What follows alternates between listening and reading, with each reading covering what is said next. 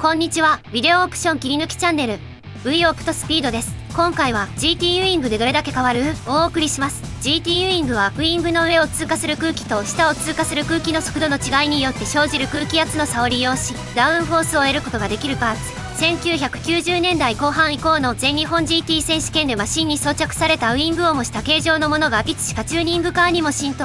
今やドレスアップのために装着するドライバーも多くユーザーに幅広く認知されているチューニングパーツです。GT ウイングを装着するメリットは次の通り高速走行時の車体を安定させることができる。高速でコーナーを通過する際に車体を安定させることができる。高速走行時に急ブレーキをかけた際に車体の安定を保つことができる。車のイメージをスポーティーにすることができる。逆にデメリットは次の通り車体重量の増加。空気抵抗の増加による高速域の加速の悪化。つまり GT ウイングを装着することによって必ずスピードが速くなるわけではなくむしろスピード自体はウイングの重量や空気抵抗によって遅くなります。ですがそれ以上にダウンフォースの恩恵によるタイム短縮の効果が大きいのです。それを実際に身をもって証明してくれるのがラーマン山田の人体実験。今回はその模様をご覧いただきましょう。そしてその後は GT ウイング装着のチューニングカーの走りの数々をご覧くださいさらに最後はまだ GT ウイングがなかった頃の様子もご覧いただきましょう。それでは全てまとめて続けてどうぞ。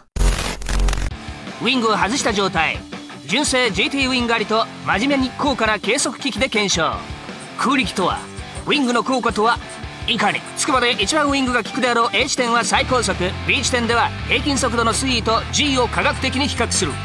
ウイングがないとね車こんなにかっこ悪いんだよね。これなウイングの意味のねえことを俺が証明してやるよ。多分なこんな見せかけウイングなあってもなくても関係ないと思うよ。なあ親父。まあ見てろよ。絶対変わんねえから。本当に。腕腕帰ってリア流れた方が全然運転しやすいんだよ。おおおおなんだ俺。あれ？なんだなんだなんだ。落ち着けないな。あれ面白いよこの方が。ウィングなしは高いスピードからフルブレーキングした時上から押さえつけるリアのトラクション不足となるそして縦のウイングによる直進性に対しての効果も失われ挙動が乱れる。高速時は一目瞭然。オーバー傾向になった。ラーマンはまだ脳がきたれてます。なんだこれ。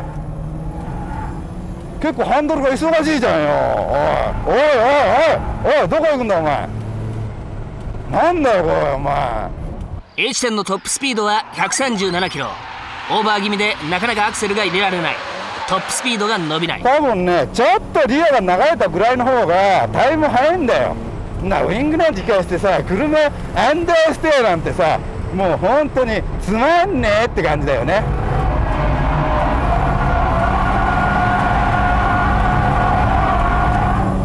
なんだよこれ。ちょっとリア流れすぎなんじゃないのこれ。俺ドリフト嫌いなんだ。よ B 地点の最終コーナーは入り口から出口までの区間を決め平均速度と G を検証ウィングなしは明らかに安定しない。ノーマルつけます。いつも同じ条件で同じ量だけ踏まなくちゃいけない。そうしないと結果が出ないでしょ？このせっかくウイングの企画してんのに。あらゆる条件でその性能を発揮しなければならない純正はサーキットでの効果だけを考えていないため効きはいまいちでもそれなりに安定しているのがよくわかる。ダンロップ下の走りはウイングレスより安定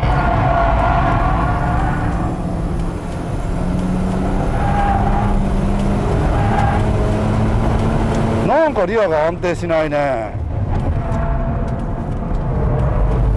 アクセルを踏む時間が長くなった分高速コーナーのトップスピードも伸びる。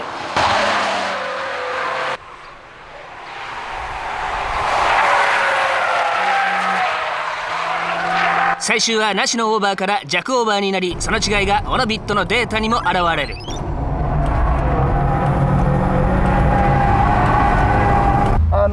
走り込んでいくとどんどんどんどんリアがこうどんどん流れてくれるくるんで逆にタイヤが垂れてきた状態ではやっぱりノーマルウイングじゃ抑えきれないっていう感じなんでラップタイムが逆にどんどんどんどん起こってくる。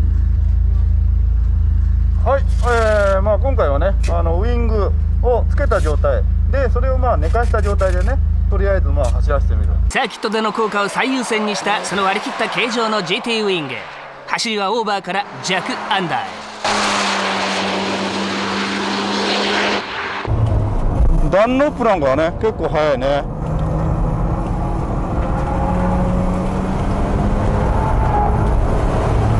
もう比較的安定して踏んでいけるね。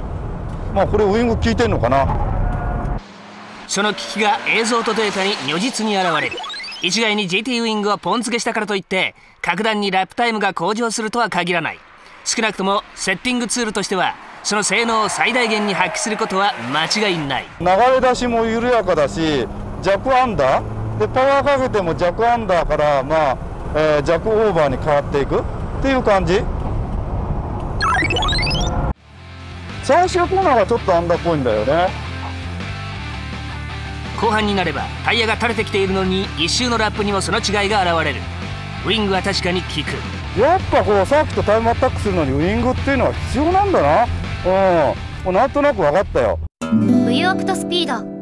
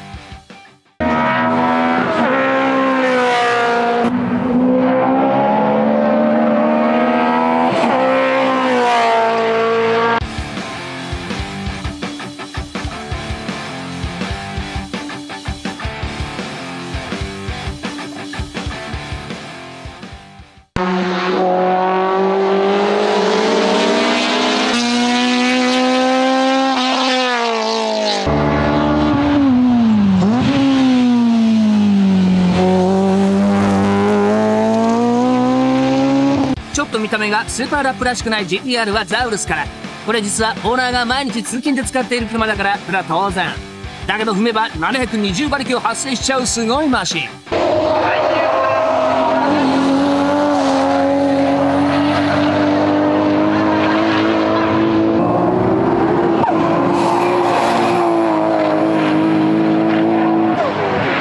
とりあえず馬力は1100馬力にしました。あの道路公道で使う馬力じゃない気がするんですけど。そうですね。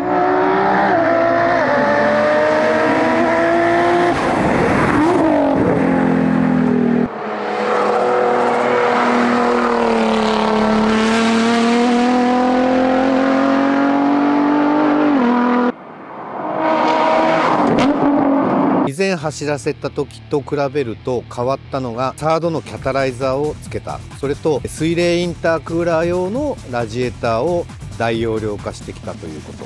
それと足回りがストリート用の足だったんですけどサーキットで通用するような足セットしてきました。であとちゃんとサーキット用のリアウイングをつけて安定して走れるようにしてきました。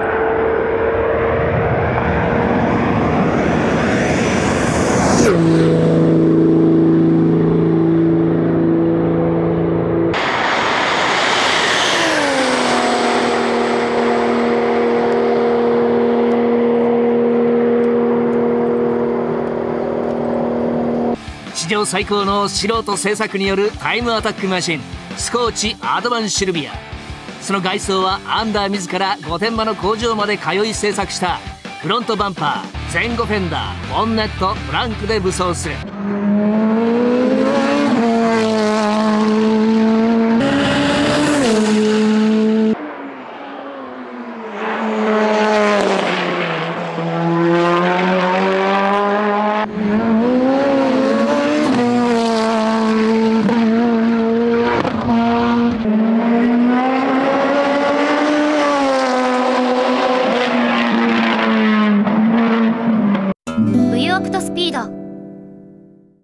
サービス森が長年開発を進めてきた S14 今回こそはシルビアの最高速320キロを超えられるか。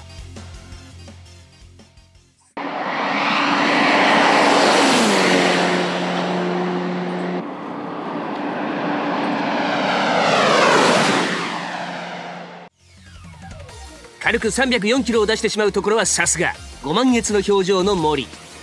ドッカンパワーなく8000まで綺麗に回りとても安定していてまだまだ余裕とラーマン山田しかし記録を破るまではやめるわけにはいかないとロングを再セッティングしてもう一度トライ。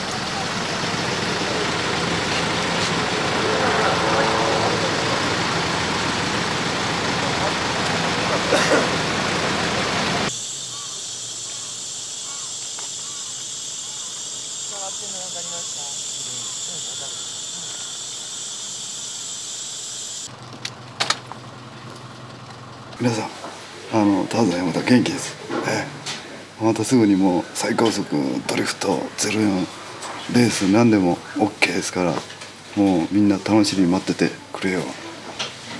イエー矢田部っていうのはなお前なみんな持ってくる車はなパワーしかないんだパワー。な車はそうじゃないんだよ。バランスが大事なんだよ。なだから俺がなその矢田部のなバカみたいな車はなやめてな。バランスの取れた車をくまに持ってきたんだよそれがスーパーラップだよやはり車は走る、曲がる、止まるのバランスが肝。ダウンフォースって大事ですね。いかがでしたか？今回は GT ウイングでどれだけ変わる？をお送りしました。ビデオオプション切り抜きチャンネル V オプトスピードはビデオオプションの動画から迫力ある走行シーンを切り抜いてお届けするチャンネルです。そこにマシンの補足説明や車の豆知識などをプラスしてより楽しめる動画作りを目指しています。今後もこのような動画を投稿していきますので、この動画がいいなと思ったら高評価とチャンネル登録をよろしくお願いします。ではまた次回に。